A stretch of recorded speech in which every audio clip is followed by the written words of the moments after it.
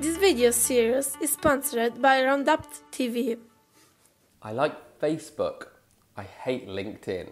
I just can't bring myself to log into LinkedIn like I do on Facebook or Instagram or Snapchat or anywhere else. It's just a much more fun place to be. But there's huge value in using Instagram. Those connections that you've made over there, some of them, have a ton of value because everyone's thinking business over there. But I just can't bring myself to go in there every day and communicate in groups and post content. I've already covered a few social media automation tips, which if you missed, go back and see previous videos. You can use those tips and tricks and hacks and cracks to post your content to LinkedIn. But in today's video, I'm going to show you how to pull in all the conversations that happen on LinkedIn from your profile to the groups, your business pages, into Hootsuite so you don't have to go and log in to LinkedIn to be able to like and respond to comments. But also it's just a much easier way to see the conversations that are happening.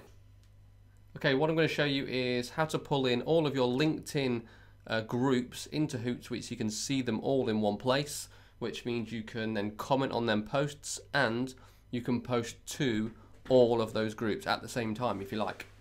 So the first thing you need to do with Hootsuite is connect up your LinkedIn account. So you can either do that via your profile right at the top left hand corner and click on add social network or in your streams tab here where it says add social network.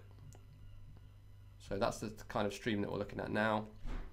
We connect up your LinkedIn account, press connect with LinkedIn. It'll probably ask you to sign in there, mine's already signed in. But um, here's the hiccup each one, and I don't know why, but for some reason, Hootsuite classifies each LinkedIn group as a separate social network.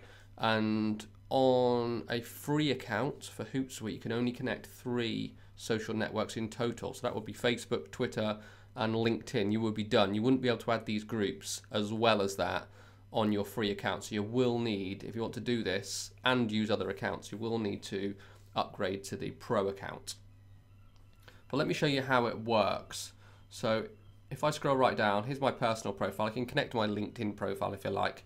That's just going to basically pull in the home feed that everybody posts and of course my post as well and allow me to post from Hootsuite to my LinkedIn account. You can pull in your company pages, but the one I show you, want to show you today is pulling in different groups because they're the ones that are actually a bit of a pain to manage on LinkedIn. So I'm just going to pull in three random ones. That's Exeter Business. Let's go with Business Network Southwest and this LinkedIn social media one here. Going to add the selected accounts. And I know they're added by this drop down menu. So this is the stream. I'm going to pull in the popular discussions from the Business Network Southwest. And that's all the popular discussions that are coming in from that group. Now I can hover over any post, for some reason that image isn't shown, but hover over any post and I can see this little add a comment tab. So if I comment there, I'm now communicating in that LinkedIn group directly. Same as these. Sometimes it's a bit funny when you roll over, but the comment tab is just up the top there. And so that's just one group. Everything that gets posted, I can either do all posts or popular posts and pull them into that stream. So go over to this next stream and pull in the next group, pull in Exeter Business. I could do all discussions or popular. I'm going to stick with popular. And again, now I've got two groups pulled in. Go to the next stream and pull in the LinkedIn social media strategies, popular posts. Three groups.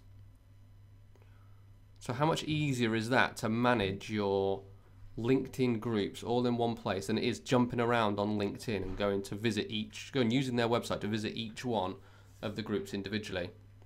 So that's how you keep track of all the posts that are being posted into the groups and communicate. But if you want to post to the groups, you can also do that from here now as well. So you just go up to the top where it says send. I'll just hover back over that. Top left hand corner, send to, and choose which networks you want. You can just choose the one, or you can choose all of them. And then you just type in your post. I'm not actually going to post it. Test post, let's say.